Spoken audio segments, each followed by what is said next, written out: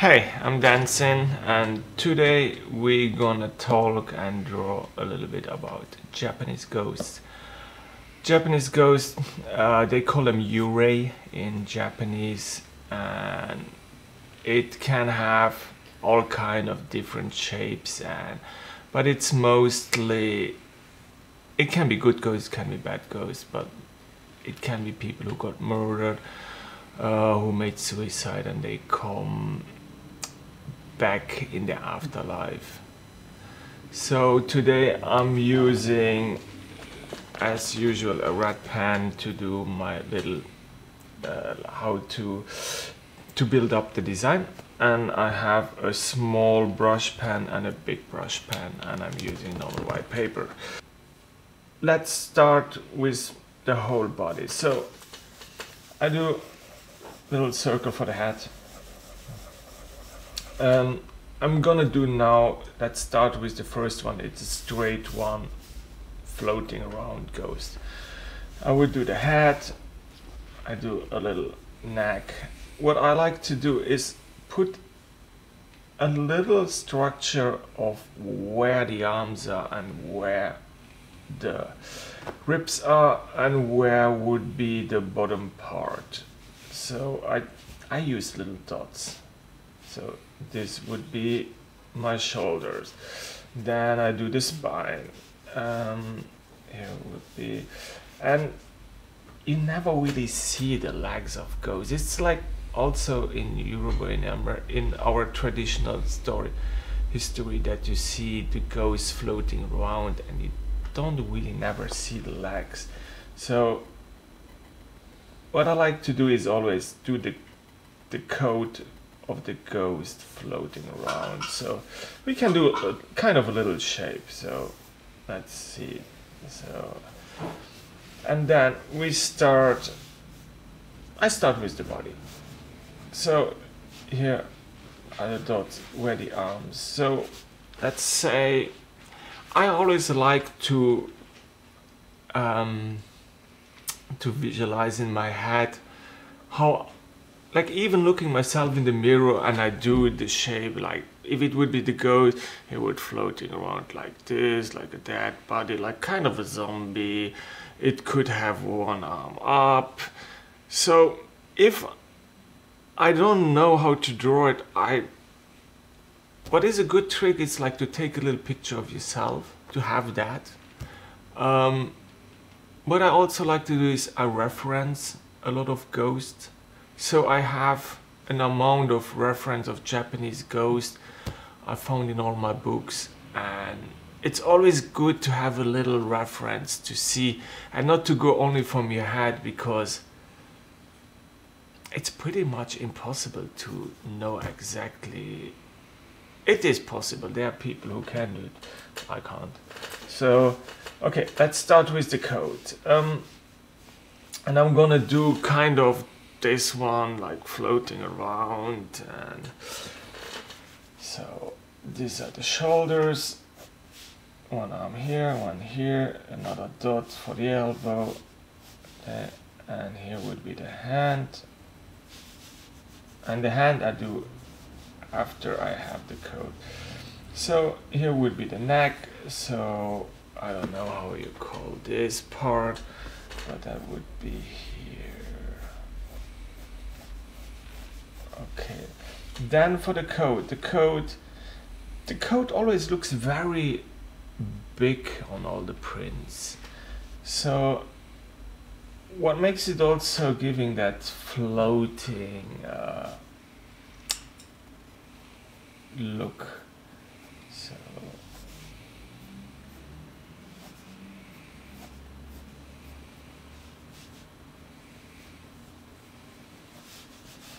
then I would do the same on the other side. Here I'm only doing a little lines to see where the code is folding later, but I'm gonna show you guys later when I'm doing with the brush pen how I like to do these lines because it there's like this kind of that brush style uh, look which I think it's important because if I'm tattooing it I like to have the coat in a really thick line. And then again, the lines of the ghost itself, the face and the hands, I use a smaller line because it gives it this this difference of the look. It uh, it's more recognizable ways what.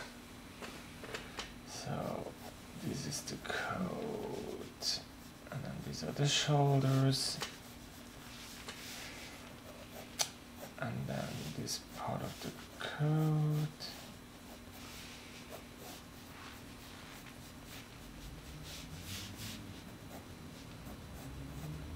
And then this would be kind of the breast and then floating down. Maybe I did it a little bit too big here. What I also now here I would prefer that the head is a little bit more down. The neck would be shorter because the ghost is more like it's already like it's a dead human. It's like if you see zombies in the movies, they are never like this. They are more like, like get together. Like they are like ah, I don't know. It's I think you guys know what I mean. I don't need to describe it. It's sometimes I don't find it words in English, so I try to make it with movements that you guys know what I'm talking about. But I also, so I would take the head and I would push it a little bit down. And I would do it in a little angle, that it's more like, like this, looking, so it's not looking on the peel, but it's more looking down and it's like, kind of, of like a zombie. Okay, then we have the coat. What I like either either. I like to do the ghost with long hair because it gives you a nice floating, but sometimes I also like it to do only a little bit hair. So this one we do with the long hair. So before I'm sh starting shaping the face, I'm doing the hair first. So I do only a little bit the lines for the face, how you would build any face up. Here the ear, this would be the nose, here would be the mouth. And then I'm already starting doing the hair. Here's like the hairline, some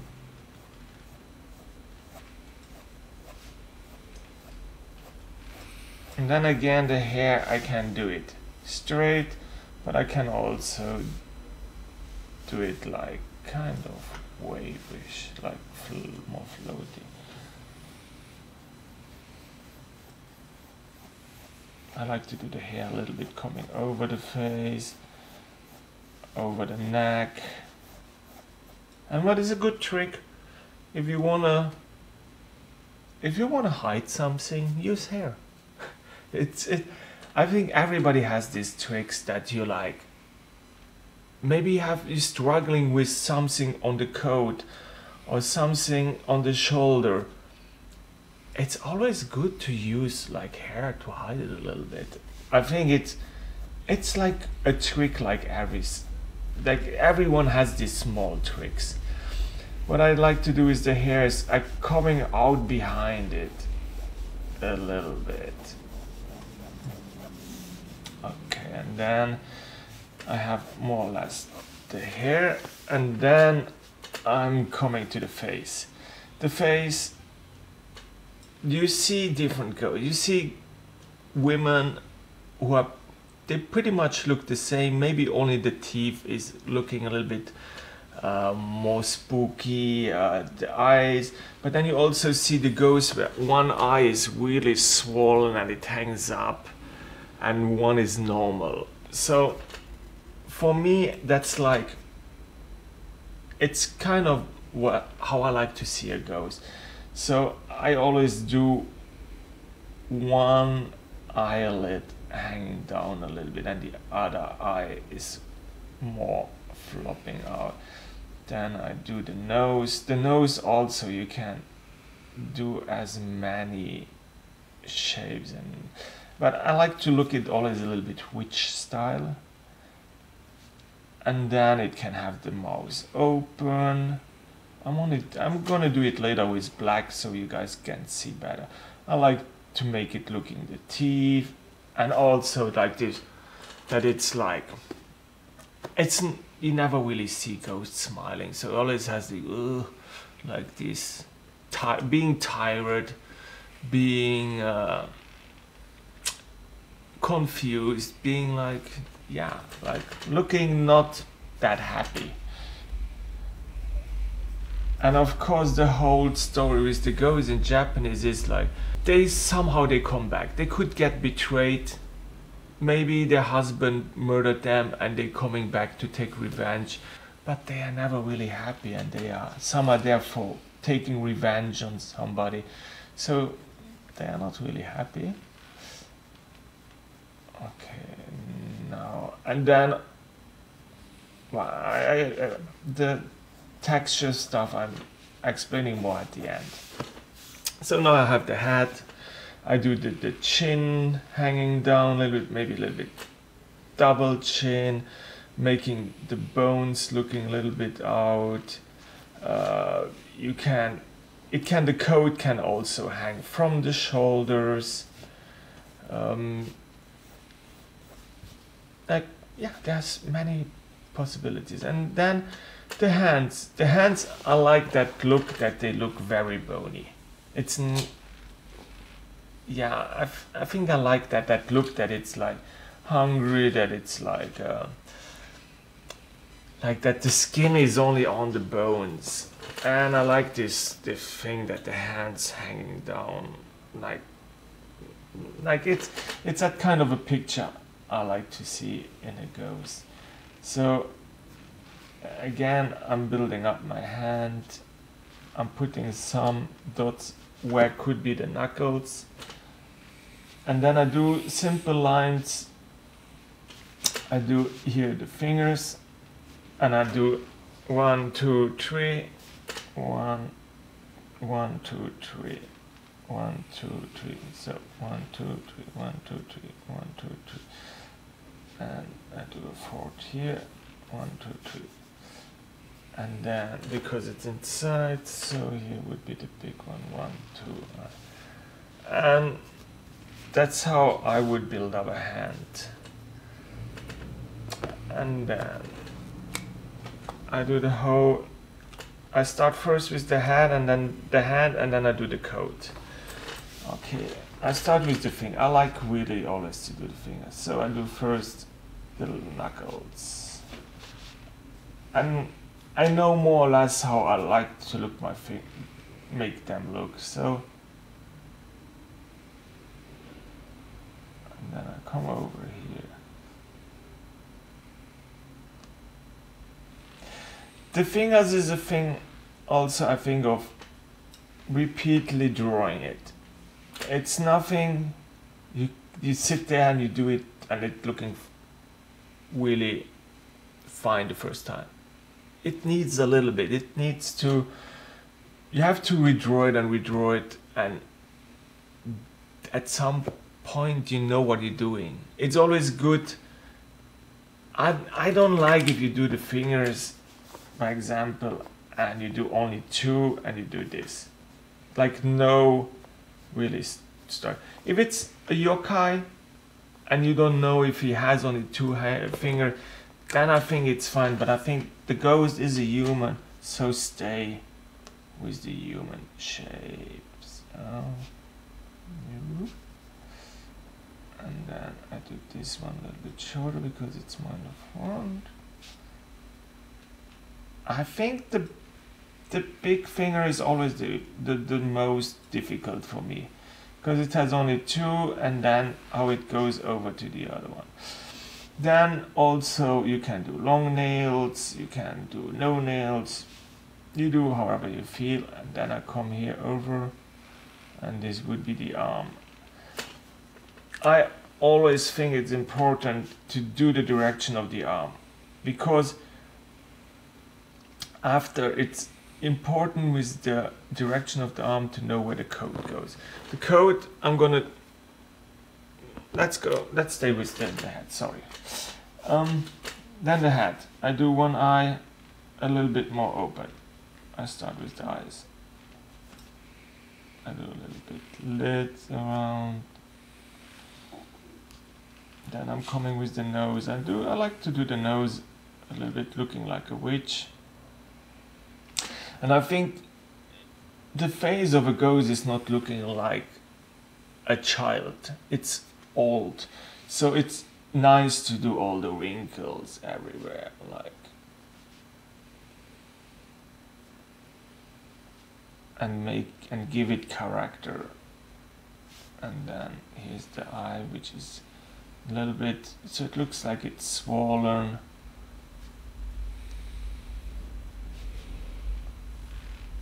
You can also you can let the eyes blank there you, you can do whatever you, you think or however you like it. There are no rules. And then here's the lip. Maybe do the mouth a little bit down and then the teeth. I like if I color it in later I like to do the teeth maybe black or a little bit dark or yellow or really white. But I always like to do color in the teeth so they come nice out and they're only small. And also if I'm tattooing teeth eyes I always use a small liner. Uh, it works for me and I think it looks good in the future. It, if you would already line it with a big liner you sure later it's gonna look like uh, like a mess that's my experience of seeing my tattoos coming back over years and the same for the hair. I think if it's more like more if you go in that authentic Japanese tattoo style then you can do big lines for the hair. But that's again it's a, it's it's your choice. I personally prefer it to do it with very small lines. Here's the ear. Ear you can do you can do the the ear down part a little bit longer because with all people you see that the, everything on, of the skin on all people is hanging a little bit so and goes of course it, it, it gives me more like if I think about a ghost it's more like I have this vision that it looks like an old man but of course it's also young like ghosts who look more like young people because it can be also young guy who got murdered or uh, died. And then for the hair, I'm gonna use. Uh, this is like a very small pointer. It has nothing to do with the brush. It's a normal Faber-Castell.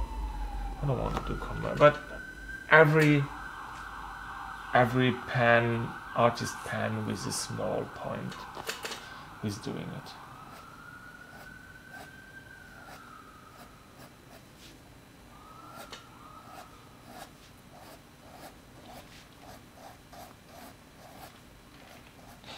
I like to do the hair fast because the hair is never it's not that it's the every hair is like straight but it can go a little bit over it can have one hair hanging out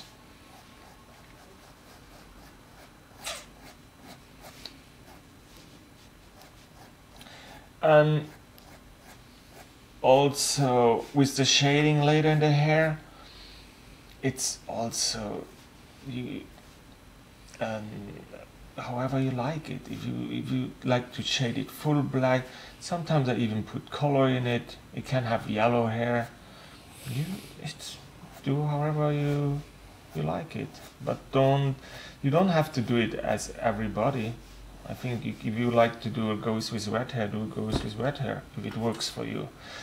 What I also like, if I'm doing ghosts, is to do a little bit of dots on the head, so it looks a little bit rotten.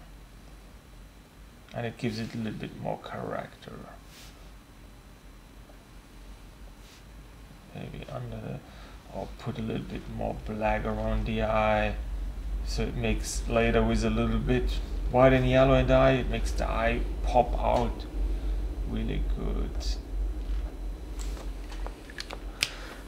And now the code. The code is very important I think because I can use these Japanese brush style lines.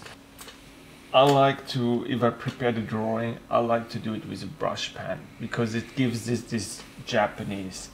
So I start at the bottom and I push it and I come up.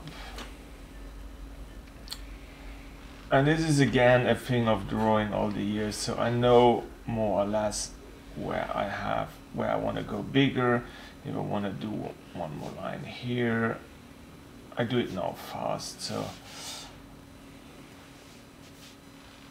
yeah, but this is like, and I think it's there. It's important to look a little bit at Japanese prints to see how the code is built up. And the better you understand the code, the better it's gonna look later for. And then you can put here a little bit shading, so it looks, it gives you the feeling where the code is in. Here again, the same then another I like to do it at the bottom like this and coming back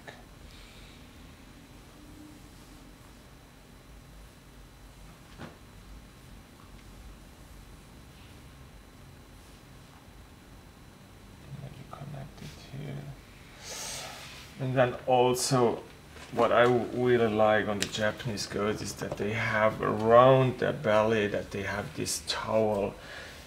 Now here because of the other arm it's a little bit hidden but I only show it fast here so it comes out. Then here's like a knot like this. So it's more like a towel who is strapped around him. I do this fast only that you guys see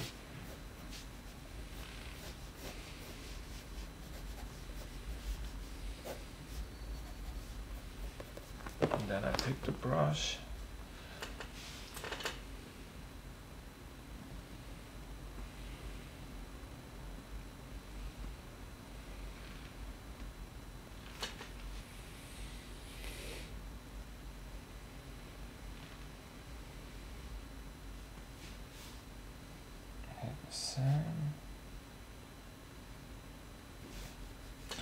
And then at the end I like to do this and then connect it up.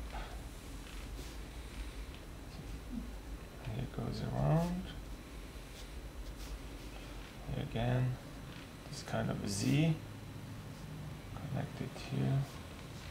That's only one of this, this stuff what you can use on a ghost, but I think it's always good to take a look at Japanese ghost, Japanese Yurei, and see the how they draw it and which kind of versions there can be like I saw many kinds of go like you see old people as ghosts you see women men you see uh, animals looking ghosts uh, so there's such a big selection but I think the best is yeah get into it uh, Google it, uh, go in, in library, checking old books, in old Japanese books, and you're gonna find there's a big amount of it. So I hope to see you guys back tomorrow. Thank you very much.